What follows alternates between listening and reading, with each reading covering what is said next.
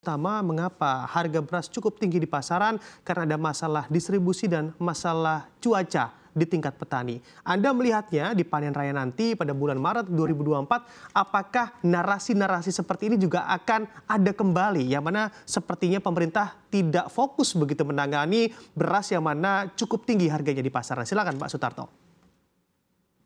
Ya, jadi begini Mas Bram kejadian hari ini tentunya eh, bukan semata-mata karena eh, faktor-faktor yang hari ini saja, tetapi ini adalah rangkaian yang panjang dari beberapa tahun yang tadi juga sudah saya singgung.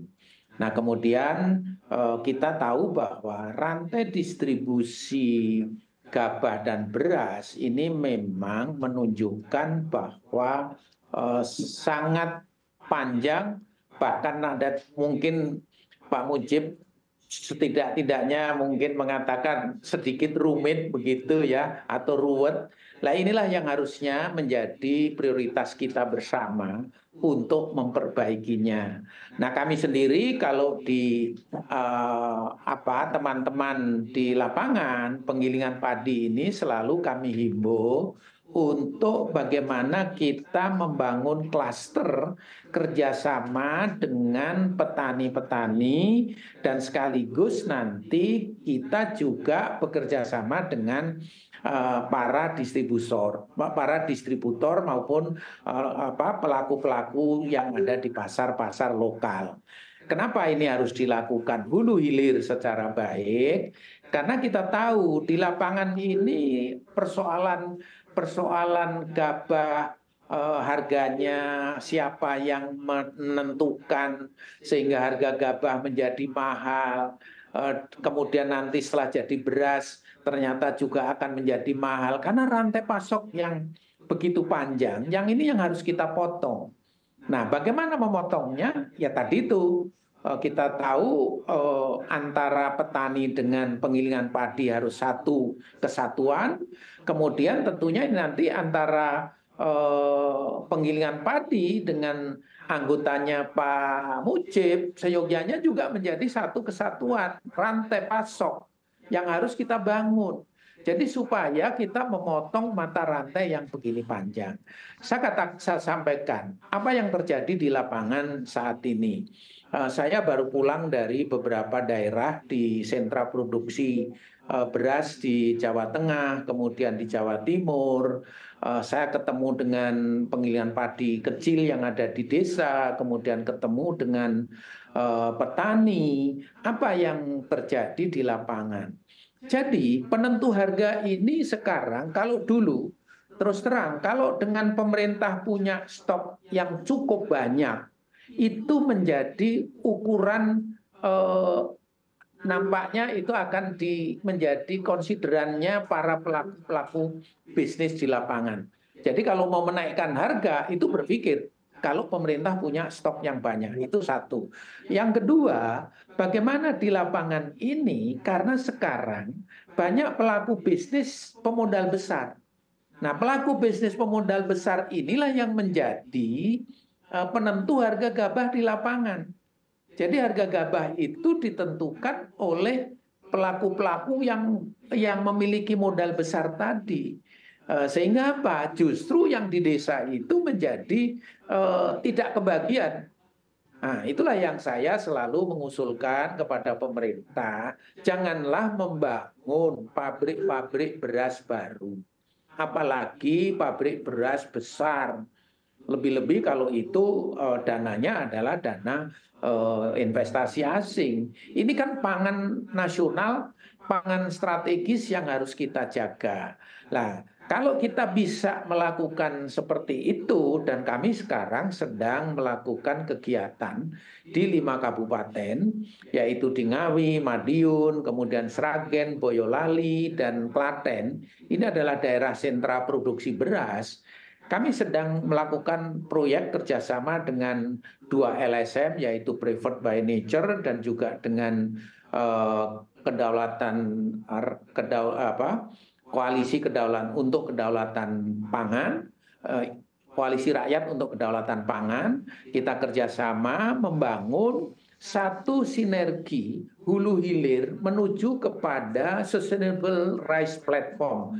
Jadi eh, produksi beras yang berkelanjutan dengan ramah lingkungan menuju kepada low carbon. Baik. Nah, ini semua kita kita kerjasamakan mulai hulu tadi itu antara petani dengan kita, kemudian eh, kita nanti dengan pasar.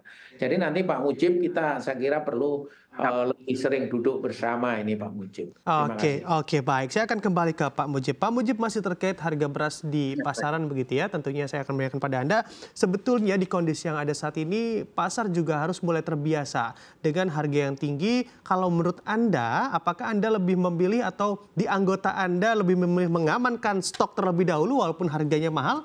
Atau justru Anda memilih ya sudah menunggu stok saja begitu, menunggu harganya rendah terlebih dahulu baru uh, membeli beras yang mana juga didistribusikan oleh pemerintah. Karena memang banyak juga yang terjadi di retail ini, retail tentunya tidak berani mengambil harga beras saat tinggi karena biasanya di saat operasi beras atau pemerintah mulai intervensi di sana, harga beras menjadi turun. Jadinya mereka membeli dengan harga tinggi tapi bisa saja tidak laku terjual karena memang tidak bisa dijual dengan harga yang rendah. Silakan dengan pendapat Anda, Pak Mujib. Ya, baik, Bro. Jadi uh, begini tadi Pak Sutarto, terima kasih atas uh, sambutan hangatnya. Jadi nanti kita akan uh, ketemu Pak. Kita coba atur waktu untuk ketemu. Nah, yang kedua saya menjawab uh, pertanyaan dari Mas Bram tadi. Itu begini, di pasar Mas, itu kan gini, pedagang itu karena hanya apa me, mempunyai modal dan tempat yang sempit, mempunyai modal kecil dan tempat yang sempit. Sehingga apa? Terus dia juga perlu perputaran, perlu menjaga pelanggan dan lain sebagainya. Sehingga ya yang ada akses yang dipunyain yaitu yang tempat kita untuk belanja. Gitu. Jadi enggak muluk-muluk juga, tidak bisa berharap bahwa oh ya kami nanti numpuk. Kalaupun toh numpuk itu kan perlu modal besar. Itu modalnya dari mana? Kalaupun toh ada modal itu ditaruh di mana? Dan lain sebagainya. Jadi tidak sampai kepikiran begitu. Tapi intinya bahwa kami itu bisa menjual dengan harga yang kurang lebihnya itu kalau bisa terjangkau oleh masyarakat. Nah masalahnya sekarang adalah dari harga beras saja itu juga sudah tinggi sehingga harga di pasaran mau nggak mau ya menyesuaikan. Kalau sekarang kan ya antara 14 sampai 16 ribu gitu loh untuk eceran. Sehingga bagi pedagang ini juga serba salah gitu loh. Yang pertama, kalau kita tidak jualan ya di mana kita perlu menghidupi keluarga, anak istri, karyawan. Kita perlu membayar retribusi di pasar gitu kan.